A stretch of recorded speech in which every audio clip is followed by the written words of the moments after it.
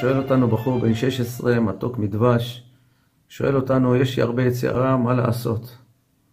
איך, מה שתגיד, כל אשר תשית עלינו, כך הוא כותב לי, החמוד הזה, מה שתגיד לי אני אעשה.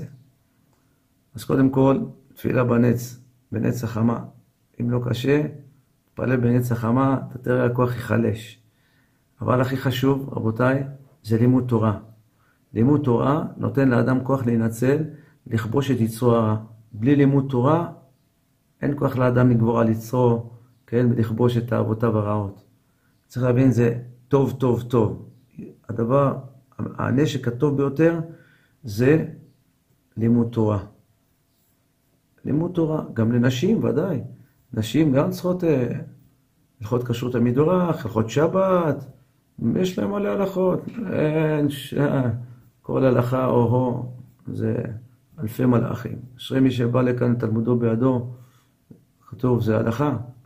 אדם שואל לשמיים, שואלים אותו איזה הלכה למדת. אז, אז, אז נותנים לו אורות רוחניים של אותו הלכה על כל אות ואות שהוא למד. על כל פנים, הגמרא במסכת קידושים, בדף ל עמוד ב', תנא דיבר רבי ישמעאל, כך כותבת הגמרא, בני, אם פגע מנוחה מנוול זה, מושכהו לבית מדרש. אם הבאנו, נמוך. אם ברזל הוא, מתפוצץ, כן? שנאמר, הלא כל דבריי כאש נאום השם, כפטיש יפוצץ סלע, ועל זה הדרך. יש עוד בר, בפסיקה דרב כהנא, אמר רבי שמעון בן אלעזר, הוא כותב, למה יצר הדומה לברזל שיתולהו לאור. כל זמן שהברזל בתוך האור, עושים ממנו כל כלי ש... שירצה. כך יצר אין לו תקנה, רק בדברי תורה בלבד. אתה רוצה לכופף אותו, אין מה לעשות, להכניס אותו לתוך ה... להכניס אותו לתוך ה... את את היצרה לתוך האור, לתוך התורה. גם במשלי כתוב, פרק כ"ה, כתוב, אם רעב ושנאך אכלהו לחם, אם צמאו השקהו מים. פירש רש"י, ככה רבותינו פירשו, ככה רש"י כותב, רבותינו פירשו על יצר הרע. אם רעב הוא, ואומר לך להסביר בעבירות, משוך את עצמך לבית מדרש. ואכילהו מלחמה של תורה.